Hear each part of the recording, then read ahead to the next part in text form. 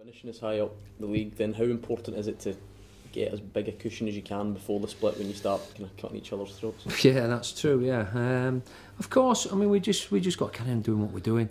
When you look at all the top sides, you know, including Celtic and, and going down to St Johnstone in the top six, they're all playing well and all getting results.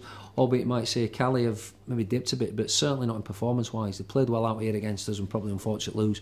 I was at Tannadice on Wednesday night, and they were unfortunate lose there as well. If I'm if I'm honest, so you know. All the top lot at the moment are in good form, so it's important that we've got to keep our form going as well. It's an ideal opportunity this weekend, considering Aberdeen are playing Dundee United. You'll either be able to possibly stretch your lead over yeah. Dundee United or possibly go ahead Aberdeen. Listen, I, th- I think of course, uh, that can be the case, but we've got to make sure we come off on Saturday at 10 to 5, whatever it is, and done our job.